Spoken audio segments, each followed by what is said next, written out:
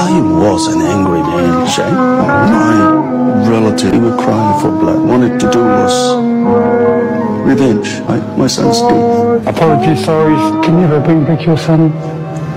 To bring back the peace that you've seen in your family's life now. But from the bottom of my heart, I'm so thankful.